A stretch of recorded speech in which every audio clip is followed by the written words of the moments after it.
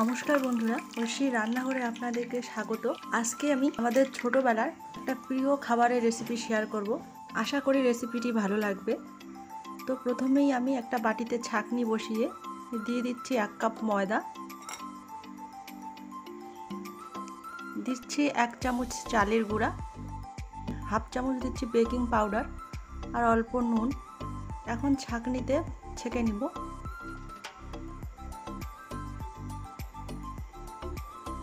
একটা চামচ দিয়ে আমি সব কিছু মিশিয়ে নিচ্ছি।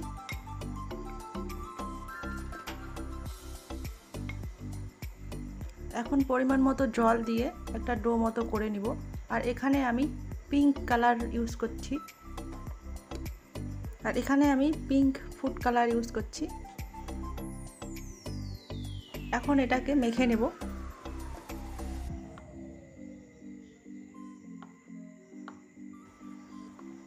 ডোটা কিন্তু শক্ত হবে না, একটু নরম হবে।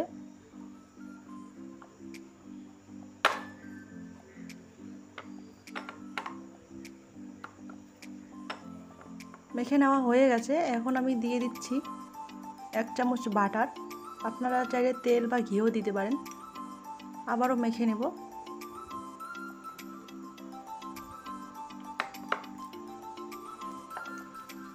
এখন ঢাকনা দিয়ে ঢেকে 10 মিনিটের জন্য রেখে দেব। আর এদিকে আমি একটা কড়াই বসিয়ে দিয়ে দিচ্ছি এক কাপ চিনি আর দিচ্ছি এক কাপের একটু কম জল। এখন এটাকে আমি একটা শিরা তৈরি করে নিব।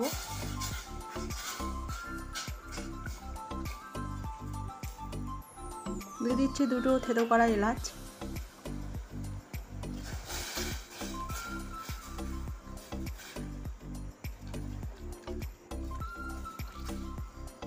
দেখুন, চিনিটা গলে গিয়ে ঘন হয়ে গেছে। এখন আমি নামিয়ে নিব।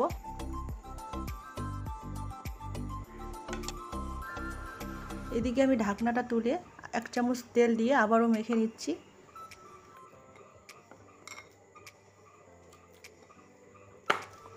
আর এখন অল্প ময়দা দিয়ে একটা রুটির মতো করে বেলে নিব। এটা কিন্তু বেশি পাতলা হবে না, একটু মোটাই রাখতে হবে। এখন একটা বোতলের মুখা দিয়ে এরকম করে গোল গোল করে কেটে নেব। দেখুন, দেখতে এরকম হবে। আমি এখন সবগুলো কেটে নিব।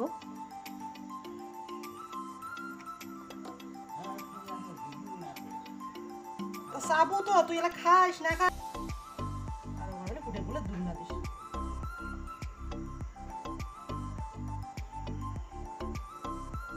সবগুলো কেটে নেওয়া হয়ে গেছে।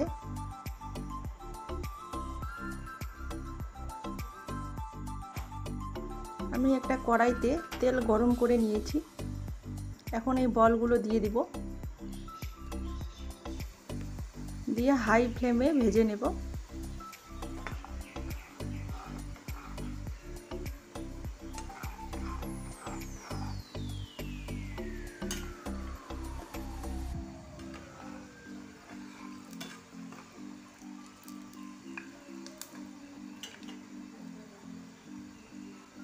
ভাজা হয়ে গেছে।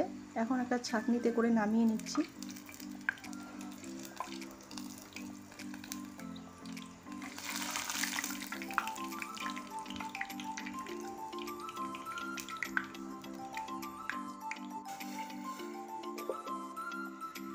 এখন শিরাটা আমি একটা বাটিতে ঢেলে নিচ্ছি। আর গরম বলগুলো, এই গরম শিরার মধ্যে ঢেলে দিচ্ছি।